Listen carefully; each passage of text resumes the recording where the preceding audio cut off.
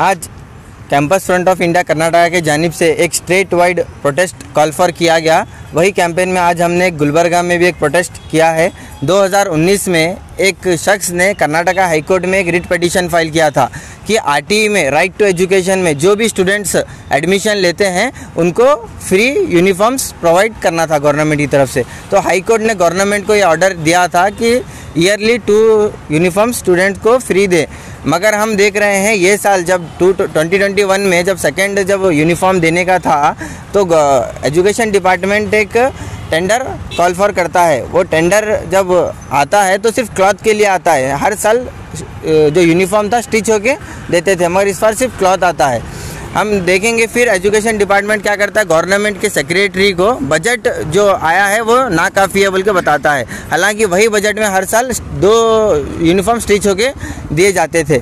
और हम देखते हैं जो यूनिफॉर्म जो स्टिच होके आते थे लोकल जो बिज़नेस हैं एक लोकल एक ये क्रिएट होता था, एक जॉब्स क्रिएट होते थे, जो स्टिच होके आते थे। मगर इस साल हम देखेंगे सिर्फ़ क्लॉथ आ रहा है, वो भी एक कॉरपोरेट कंपनी से क्लॉथ खरीद रहे हैं। तो जो एम्प्लॉयमेंट था, वो भी एक नहीं मिल रहा है, और जो बच्चों को जो यूनिफॉर्म मिलना था, वो भी नहीं मिल रहा है। यहाँ, और दूसरी जगह हम देखेंगे बीसी नागेश जो हैं एजुकेशन मिनिस्टर यूनिफॉर्म बहुत ज़रूरी है यूनिफॉर्म पहन के आना है बोल के बताते हैं। और यहाँ पे वही स्टूडेंट को यूनिफॉर्म प्रोवाइड नहीं कर रहे हैं।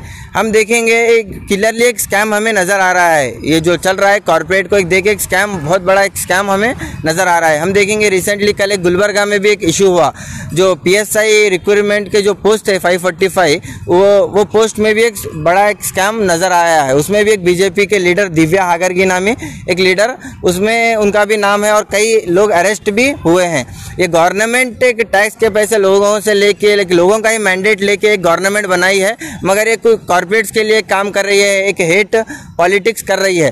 तो हमारी एक डिमांड है, ये जो स्कैम्स आए हैं, ये स्कैम्स को क्लियरली एक इन्वेस्टिगेट किया जाए और जो भी ये स्कैम में है, इनको अरेस्ट किया जाए। और ये हमारी एक डिमांड और एक ये है कि बीसी नागेश जो एजुकेशन मिनिस्टर हैं, इनको रिज़ाइन करना है। आज कैंपस फ्रंट ऑफ़ इंडिया की जानब से बीसी नागेश का जो यूनिफॉर्म डिस्ट्रीब्यूशन का स्कैम सामने आया है, उसके खिलाफ गुलबर्गा डीसी ऑफ़िस में कैंपस फ्रंट ऑफ़ इंडिया की जानब से एक एहतजाज मुनज़म किया गया है।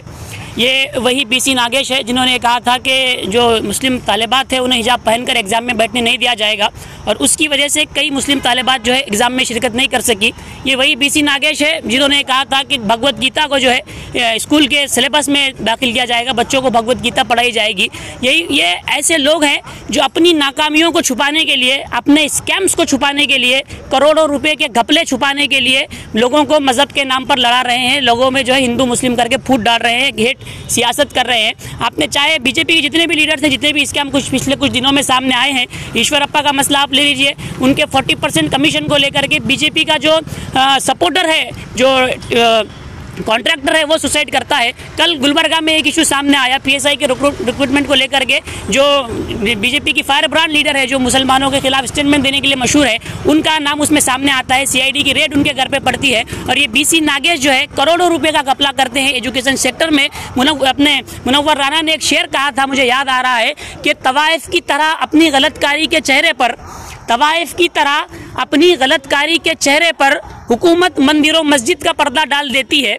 हुकूमत मंदिरों, मस्जिद का पर्दा डाल देती है अपने काले करतूत छुपाने के लिए, अपने घोटाले छुपाने के लिए, करोड़ों रुपए के स्कैम छुपाने के लिए। ये लोग हिंदू, मुस्लिम की सियासत कर रहे हैं। हम डिमांड करते हैं कि जो बीसी नागेश है, इनको रिजाइन करना चाहिए। ऐसा शख्स जो एजुकेशन जैसे सेक्टर में घपला करता है, जो स्टूडेंट्स के मुस्तबिल से खिलवाड़ कर रहा है, उसे कोई अखलाकी हक नहीं पहुँचता, उसे कोई मोरल राइट नहीं है कि वो कैबिनेट में बना रहे, अपने अहदे पर बरकरार रहे। हम ये डिमांड करते हैं कि बीसी नागेश को इस्तीफा देना चाहिए, और अगर वो इस्तीफा नहीं देते हैं तो बसवराज बुम्बई से ऑनरेबल चीफ मिनिस्टर से हमें डिमांड करते हैं कि उन्हें फौरी तौर पर काबीना से रिमूव किया जाए, बरतरफ किया जाए और इस पूरे मामले की, इस पूरे स्कैम की इम्पार्शियल इंक्वायरी होनी चाहिए, इस पूरे स्कैम की जो है तहकीकत होनी चाहिए और जो भी लोग इसमें मुलविस हैं, उन्हें सख्त से सख्त सज़ा होनी चाहिए, ये हम डिमांड करते हैं। थैंक यू आज जो हमारा प्रोटेस्ट करने का मकसद ये है कि एक आर से आर से जो बच्चों को फ्री यूनिफॉर्म यूनिफॉर्म्स जो है प्रोवाइड करने का था ये गवर्नमेंट को जो है सही से गवर्नमेंट जो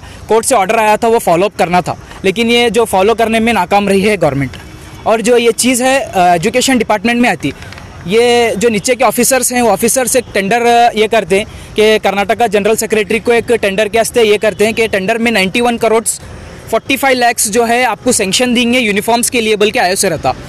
इसमें से जो है, ये लोग जो नीचे के ऑफिसर्स रहते हैं, एक लेटर लिखते हैं कि नहीं, हम लोगों को एक सात लाख रुपये एक्स्ट्रा होना है 91 करोड़ 52 लाख रुपीस हमको जो है एक्स्ट्रा लग रहे हैं। किस बुनियाद पे बोले तो सिर्फ़ स्टिच करके नहीं दे रहे। ये लोग जो है सिर्फ़ और सिर्फ़ क्लॉथ्स दे रहे। जो पहले जो क्लॉथ्स बन के गवर्नमेंट जो प्रोवाइड करती थी क्लॉथ्स स्टिच करके टू थर्टी रुपीज़ में एक एक पेयर जो है आप लोगों को आ, बच्चों को जो प्रोवाइड करते थे। अब जो है two fifty rupees twenty rupees extra बढ़ा के टू फिफ्टी रुपीज़ में सिर्फ़ कपड़ा प्रोवाइड कर रहे। आप लोगों को सिलाना बोल के बच्चों को दे दे रहे। इसमें जो है सही से फॉलो नहीं हो रहा। इसमें जो है कहीं ना कहीं ये जो टेंडर पास कर रहे हैं आज जो है, ये टेंडर की सुनवाई है, जो 18 अप्रैल 2020 है, आज जो है ये टेंडर की सुनवाई है, इसीलिए आज हम प्रोटेस्ट कर रहे हैं। तो कहीं ना कहीं ये ऑफिसर्स जो टेंडर पास कर रहे हैं, इनको मिनिस्टर्स का सपोर्ट है। ये सपोर्ट जो है ऐसे ही सपोर्ट नहीं आता। क्यों बोले तो गवर्नमेंट जो है, आप देख रहे हैं कि एजुकेशन के ऊपर गवर्नमेंट कितना नीचे नीचे तरफ़ से गिर गई है। इसीलिए जो है, हम आज जो है, हम प्रोटेस्ट कर रहे हैं। इनको जो है मिनिस्टर्स का सपोर्ट है। इसीलिए इतने बड़े स्कैम्स इतना बड़ा घोटाला हो रहा है। तो इसी के लिए हम जो है बीसी नागेश जो है, हम रिज़ाइन करना बोल के हमारी डिमांड है।